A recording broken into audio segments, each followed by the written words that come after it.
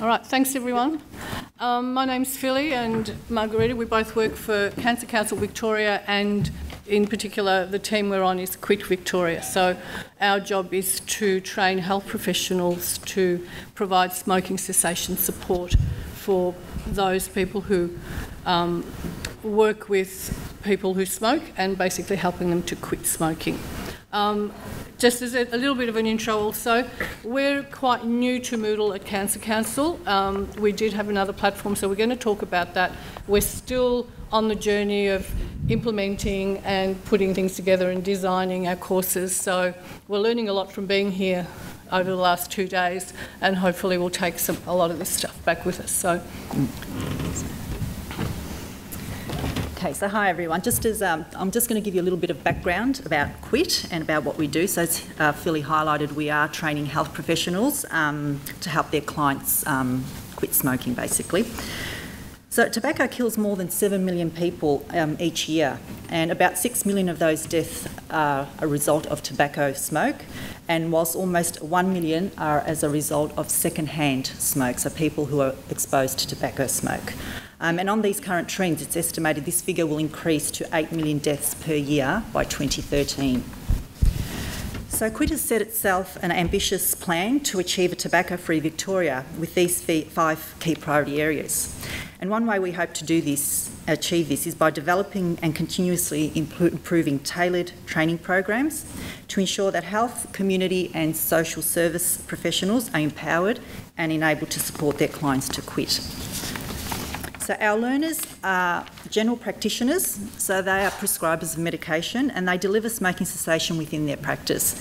They are, however, time poor, so smoking is just one of the many health um, issues that they discuss with their patients and it's not always a priority. So they have prior knowledge tra- and training needs to be short and quick for this cohort. We have nurses, they have more time to spend with patients. Smoking cessation is not a part of their normal practice and they need more training, so more detailed information, and they may not have as much prior knowledge. So they also have to have access to tools and resources that they can use with their patients. Mental health workers, they deal with more complex cases, so various uh, mental health conditions, substance abuse, etc., and they need more tailored information um, and training. They may not have any prior knowledge, so they need more, more intense training, um, and time spent with their clients will vary, so smoking cessation as well may not be a priority. Our community workers, they have little or no um, smoking related training. Smoking is not a reason to see their clients, but it does come up within their service. So, time spent with them can be varying as well for different um, priorities and needs. These workers will need um, information and access to tools and resources that they can use with their clients. Okay, so regardless of who they are, um, we see our new learners as connectors, creators, constructivists. We also want to um, grow our learner base. We currently have about 6,000 registered users on our system. We want to expand that and go nationally and globally. Um, and so moving to Moodle hopefully will provide us with that ability.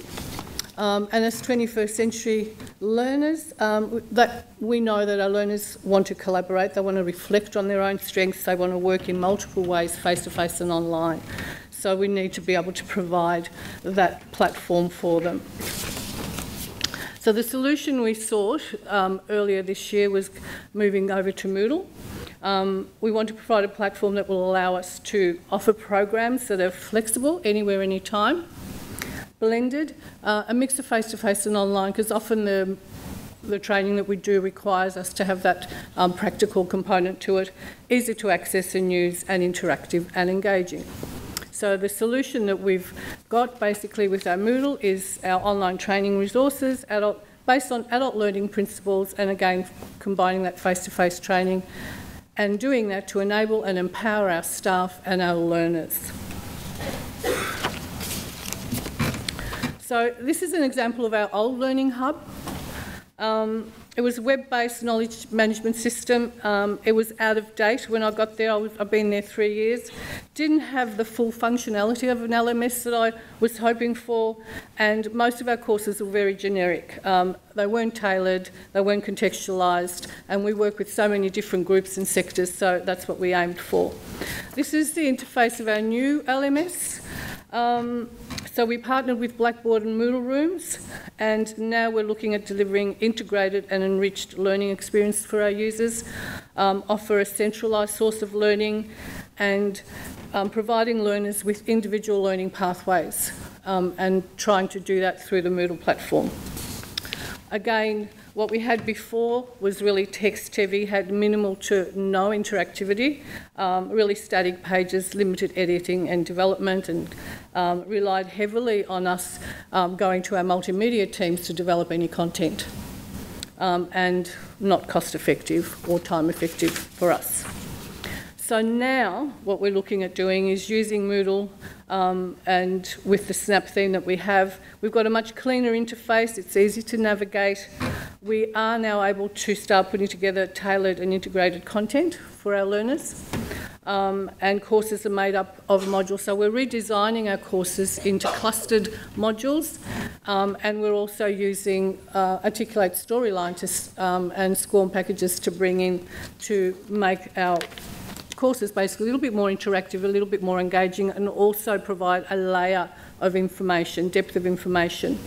So that's just a little bit of the interactivity that you'll be, they'll be seeing. Um, as I said, content is layered and learners can choose to view more information if they want to. So if a doctor works specifically with people with mental health, they can then go on and click on something to find out more about mental health. If they work with pregnant women, they can um, click on um, information about pregnant women. So we're layering that information.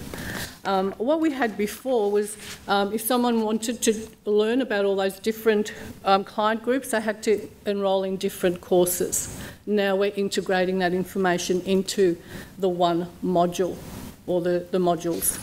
And again, this is an example. So here we've got a group, um, you can click on find out about pregnant women, um, youth, multicultural groups, and so forth. So there's, again, layered information in that.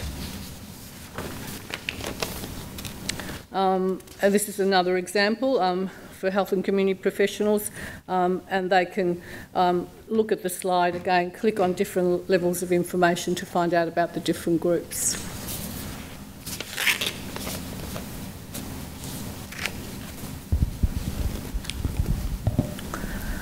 And so with the courses we've shown you, um, we're trying to use a combination of um, the Moodle tools, directly out of the box Moodle tools, and um, SCORM packages. This course in particular up here is done completely using Moodle tools, only because we wanted, this is a course for GPs that they need to do to get their PDSA or um, credit points. Um, it's worth 40 um, points with the RACGP, the Royal Australian College, of General, General Practitioners. Um, and so um, they, we need to capture their data. They, they're going to take about 15 weeks to do this. They need to be able to come in, come out, and do that over the 15 week period. So we need to capture that data from them.